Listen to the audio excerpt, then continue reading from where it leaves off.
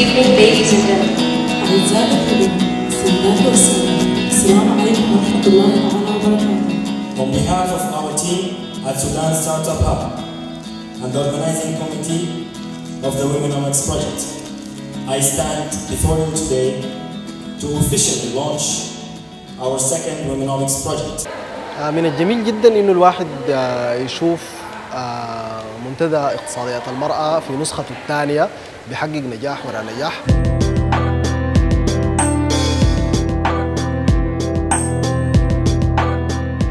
So let's give a hard welcome to our Dr. Wafa Alamin.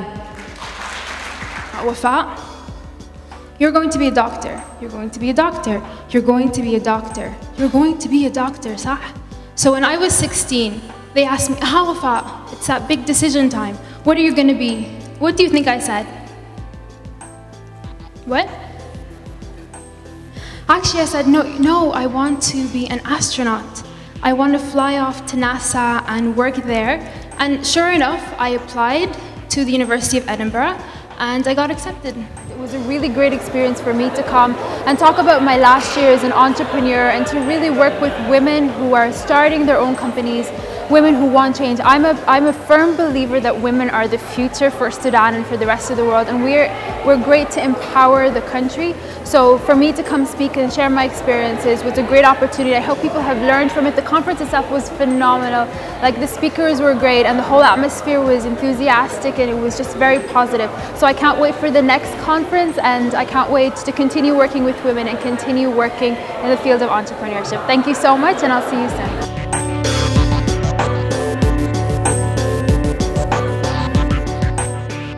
We are already empowered.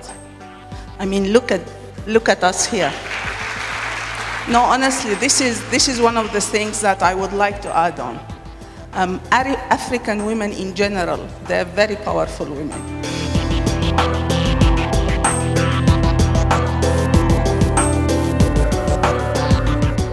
So please let's welcome Weam Shogi.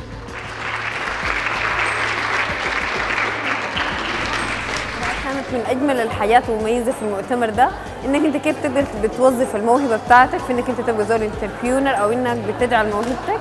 نوع من أنواع الدخل اللي ممكن يساهم في حياتك ويكون عنده دور في المسؤولية المجتمعية.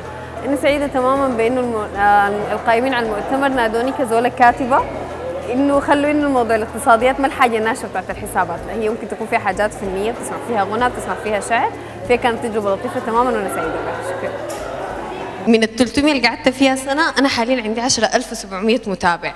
ال 10700 متابع بيخلوني إنه أنا لما أقدم حاجة بحس إنه أنا يا بأثر فيهم يا هم بيأثروا فيني بطريقة ما. ما دمت أنا من يختار ما دمت أنا من يقول من حقي أن أختلف من حقي أن أريد.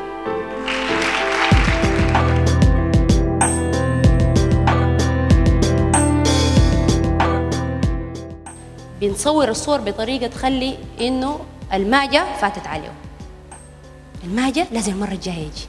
آه، قدمت تجربة جمعية يلا مبادرة الطوعية كتجربة رائدة في حتة إنه عايزة تعمل empowering للبنات وعايزة ترفع الكباسيتي بتاعت ال- الشباب ككل.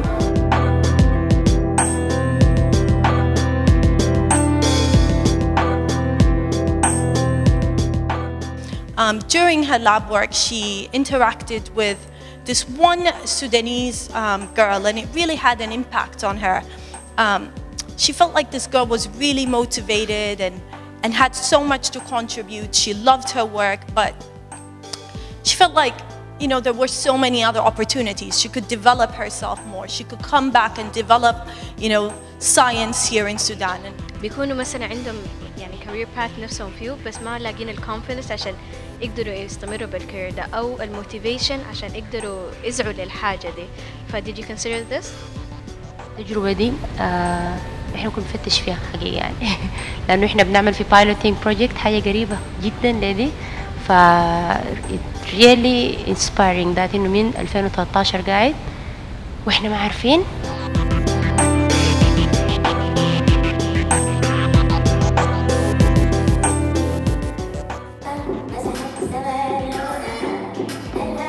ال liver damage يعني الزول ال liver بتاعته بتجيف يا جماعة. بسبب إنك بتستعملي كريم عشان تبقي شنو؟ بيضة. بس. دي حاجة ما منطقية. يعني منطق ذاته ما بيتقبلها.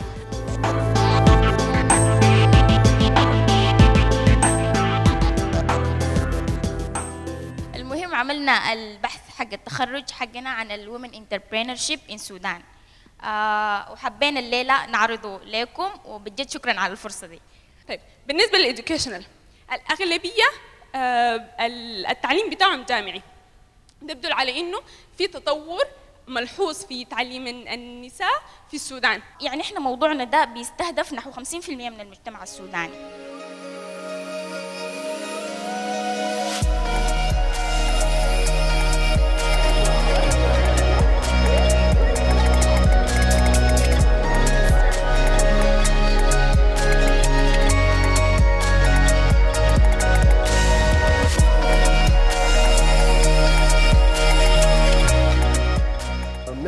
السودان بيعمل بشكل آه، كبير جدا على دعم وتمكين رائدات الأعمال في ان هم يعملوا البزنس الخاص بهم ويقدروا يخلقوا وظائف تساعد الاقتصاد العام في السودان.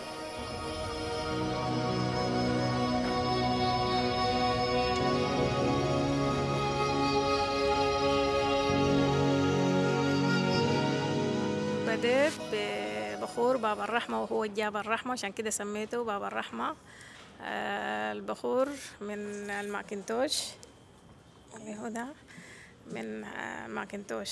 سميته باب الرحمة. فده أكتر حاجة مميزة وحاجة عجبت الناس شديد ومشى كويس. وعندي تاني العبق الممتد عن فرعودية وده مميز شديد و الكبير ده. وده يعني جاب لي السمعة كويسة. فدي البخورات. مريم محمد عبد القادر آه، ده نموذج من شغلي. أنا شغلي handcraft أشغال يدوية. بصمم الأحذية والشنط آه، من الكروشيه من الصوف. شغل آه، جزمة مريحة خفيفة. بتتلبس يعني آه، في أي فصل من الفصول آه، إذا في الصيف في الشتاء في أي حتة يعني ما مشكلة. فرصة للناس تيجي تشوف حياتي دي وإن شاء الله تعجبهم.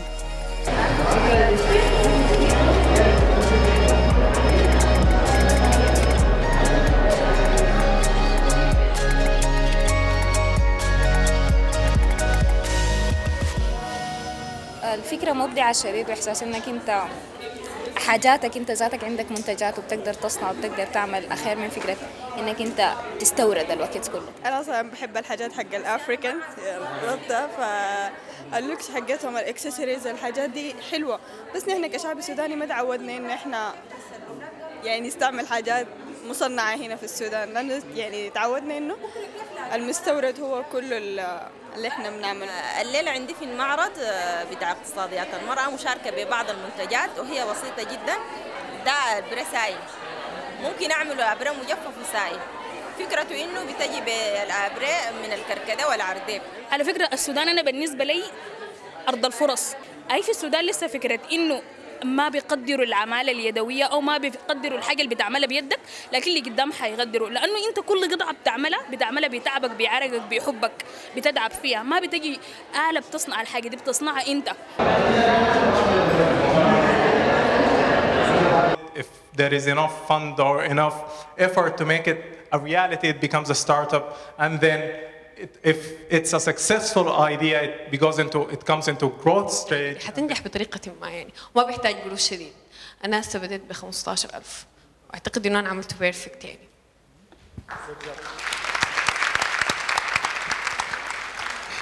Any other questions or comments? أجمل ما في الايفنت إنه قدرنا نعلن عن البرنامج بتاعنا بتاع الاحتضان للمشاريع الناشئة. هنبدا ب 20 مشروع.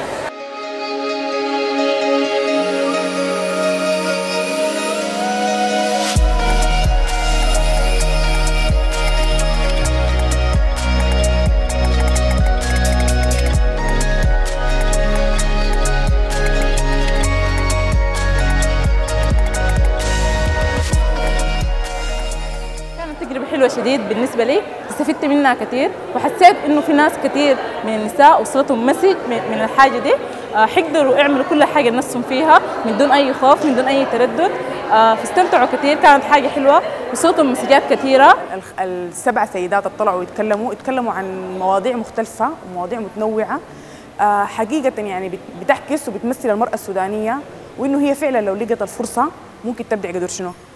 كان لابد لنا في محور السودان للأعمال الناشئة وبكل تواضع أن نوجد ولو بقليل في محاولة لتكريم سيدات سودانيات إسلاميات تحدينا كل الصعاب وقهرنا كل الظروف.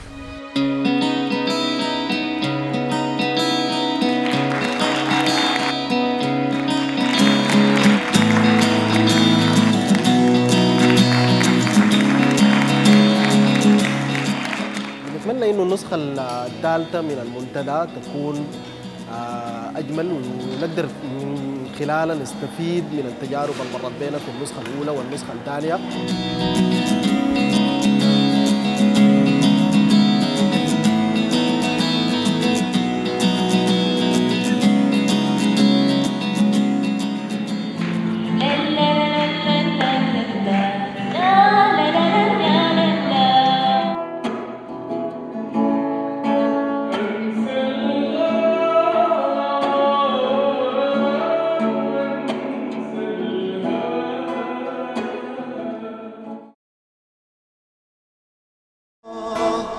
بالله تزورني مرة أنا يا حنان.